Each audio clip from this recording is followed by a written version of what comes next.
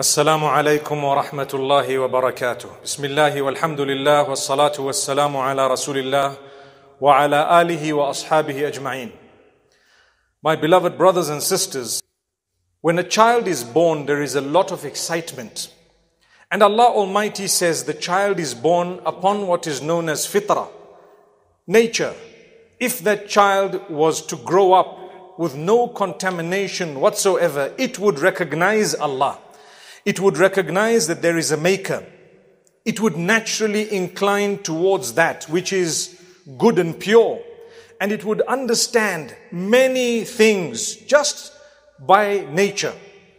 But there is contamination that happens starting from the parents. So the way the parents want the child to think or the way the parents themselves think and operate and behave is exactly how the child will mimic, will follow, and will grow up. So you find some parents, as the child is little, they do not think about how they're speaking. They say whatever they want. As the child grows up, the child repeats the same words, has the same style, swears in the same way. And you have other parents whom, for them, what's important is the pleasure of Allah, salah, zakah, respecting people, speaking in a polite way and so on. The child automatically picks up this from the parents. This is a gift that Allah has bestowed upon the parents, but it's also a challenge and a test. And then the child begins to show an interest based on what the parents have an interest in. The child begins to show an interest based on what the community that the child is growing up in shows an interest in. It's very interesting because when you have a little child who grows up in a home that is blessed, filled with goodness and the pleasure of Allah, interested in helping, interested in humbleness, humility, interested in worshipping Allah alone, you find the children themselves are disciplined, they are beautiful, just by way of being brought up in that family or in that community. But now, we've begun, we've started seeing from a while, materialism overtaking in an unprecedented way, whereby from a young age, if you were to ask a child, what would you like as you grow up? The child would say, I want a Ferrari. I want a huge mansion, a home. I'm going to buy this. I want to fly to Mars with those people who are going with these, you know, spacecraft. I'd like to this and that. And Allah is not in that equation at all. It's all about materialistic things. What would you like to do and achieve in life? They forget that Allah might never allow them to see more than 20 years. They might die at the age of 20, 15, wherever else it may be, 25. They might go. What did they do in their aim to get to that spacecraft or that Lamborghini or that house mansion or to own a holiday home in Hawaii, wherever else it may be, in their dedication and focus upon that, they lost focus of the hereafter. So if you were to ask a child, as you grow up, what would you like? And the child says, I'd like to please Allah. I'd like ultimately Jannah. Then you're speaking. And this goes for adults as well. What do you want in life? People say, I want to make my first million by the age of 20. Allah's only going to allow you to see 19 years. Then what? Okay, you made your million at the age of 20. Allah's only going to allow you to live for 25 years. He's going to take you away. Life was always a test. We told you that from the beginning. You didn't believe it. So you left so early and guess what? You didn't prepare for the day you're going to meet with Allah. I'm not saying don't have goals and aims in life. We do want to own, for example, something. Let's have a comfortable home, a comfortable ride. The Prophet ﷺ speaks about the three signs or the three points of happiness, contentment, goodness in this world. When Allah has blessed you with things, the three goodnesses of the dunya, a good wife, a good home, and a good conveyance, meaning your vehicle. If you have those three, you're set. What more do you want? But man, wants more and more and more. Subhanallah. And it's not haram, but not at the expense of your relationship with Allah. That's the thing. Do you fulfill your salah? You did. You do. Your fajr, you got up. Well, you're preparing for the day you're going to die. You're going to be having a palace in Jannah. You're preparing for the day you're going to meet with your maker. I put my head on the ground and I said, Subhana Rabbi al-A'la. Glory be to my Rabb, my creator, the one who provides for me, protects me, the curer, the nourisher, the one whom I'm going to return to. You are the greatest, the highest. Here I am with my head on the ground for you. That is preparation for the day you are going to meet with Allah. It's more important than the Lamborghini and the preparations here in this world to see where you're going to be at the age of 40. Today's millionaires will tell you, I made my first million at the age of 25. Big deal. Big deal. How is it going to get you where you need to go? How many years are you going to live for? So this is the thing. We need to focus on the right things. We need to realize if someone were to ask you or your children or our children or anybody, what would you like to achieve? The first thing is, I want to achieve the pleasure of Allah. Then I would like to achieve so much and so much. Recently, I heard one of the interviews of an extremely wealthy Muslim man, and he said in that interview that one thing that gives me a kick is to give charity to the poor. Subhanallah. I want to outdo everyone else who gives charity, and I want to be known by Allah. Imagine a wealthy man saying, I want to be known by Allah as a man who got and gave, got and gave. I got and I gave. Subhanallah. Ma naqasa min sadaqa. Nobody's wealth has ever been depleted because of a charity they gave. You give, you get. I love the narration where we're taught that Allah Almighty says, Anfiq, yabna Adama, unfiq alayk. O son of Adam, spend. Spend on others, and I will spend on you. Subhanallah.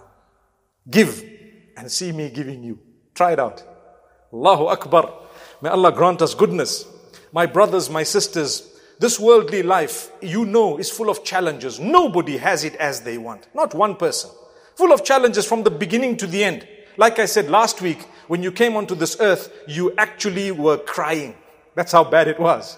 May Allah grant us goodness. And you're going to have challenges every year. Don't think things are going to ease out. No way. Nothing eases out totally. It might ease temporarily for a while. Allah says we kept it that way so that you can thank Allah. If you're a believer, Allah says we'll give you the world.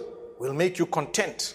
If you're not a believer, you don't have a relationship with Allah, no matter how much you have, you won't be content. And that's why you find thuggery, robbery, criminal behavior, and so on among the wealthy sometimes. Yet they have so much they don't want others to get. Have you seen an individual anywhere in the world it happens? Maybe perhaps including here, without specifics. You have someone with a massive business turnover of millions of dollars, and they feel threatened by a tuck shop selling the same thing across the road. Threatened. Why? I need those millions, not this guy. What are you trying to do? Learn from Allah. How much do you want? Let that guy earn. Allah will bless you. Help him, prod him, give him, let him come up. Allah will give you. You made someone come up, Allah will make you come up. That's how it should be. May Allah subhanahu wa ta'ala grant us goodness. But the greed that we have, has actually turned us away from Allah because the focus is no longer about salah, even though we might pray, but that's not our focus. We are praying by the way. Many people pray without concentration. Many people read the Quran on a daily basis, but what do they know about the Quran? Nothing. I'm doing it ceremonially just because I need to get it done. That's it. That's not how it should be. You need to fulfill your salah because you want to become close to Allah. A sign of the acceptance of your salah is when you're humble with the rest of the creatures that Allah's created. That's a sign that you're truly close to Allah. How can I claim to be close to the Maker who made everybody else, but I'm rude to them, I'm rough with them, I swear them, I mock at them, I tease them, I make them feel belittled, and I think I'm a big deal, and I think I'm close to Allah. Why? I pray five times a day. Big deal. There are others who pray more than you and they are more humble than you are. So compete in those things. Compete in goodness. You must know where to focus. And this is why we say, my brothers, my sisters, on earth, there are four types of people. As they enter, the hereafter. The first one, the one whom Allah has blessed with a lot in this world and a lot in the hereafter. Well done, mashallah. They have achieved. Allah gave them here and there. Atina fi dunya hasana wa fil akhirati hasana. Allah gave them here and because they were humble, because they were close to Allah, because they had good character and conduct, which is lacking in most of us, Allah blessed them with the hereafter as well. So they got both. The second category, those who have nothing on earth, they struggle all day, every day, throughout their lives, year after year, until the day they died. But in the hereafter, they achieved Jannah, paradise. We tell them, congratulations, you won.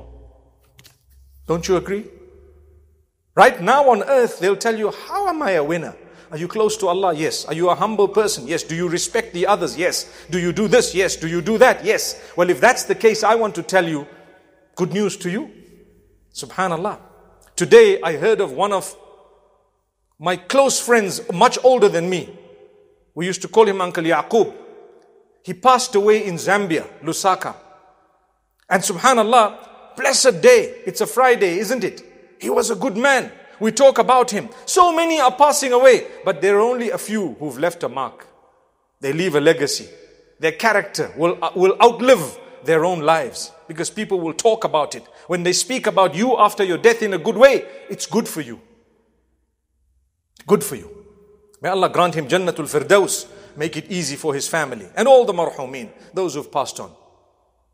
The third category are those who got everything in this world, but they've lost the hereafter. That's a loss. Imagine you got everything for 50 years. 50 years. I was dealing with a case recently where someone actually did say from among the people who were talking and who had a dispute, they said, you know what? What's the point of this dispute? Life is so short. And it struck me to say, if influential people can say that, who are we? What's the point of this dispute? Life is so short. What did you gain? Nothing. Zero. Allah gave you a few years. May Allah grant us goodness. So some people have everything on earth, but they've only had goodness for 30 years. After that, they are gone to a place where they will struggle forever and ever. And then the last lot are those خسر الدنيا والآخرة ذلك هو الخسران المبين Those who have nothing on earth and they're still arrogant and they're still haughty and they have no relationship with Allah. Those, subhanallah, they have lost everything completely. When they get to the hereafter, they have nothing. That's a great loss. May Allah subhanahu wa ta'ala protect us, grant us goodness, open our doors. May Allah subhanahu wa ta'ala grant us the best of the dunya and the akhirah and help us to focus on the right things. It's not wrong to be a person who has in this dunya but it's wrong to divorce yourself from Allah subhanahu wa ta'ala. And it's wrong to become arrogant, haughty, and not to work on your character and conduct. أقول قولي هذا وصلى الله وسلم على نبينا محمد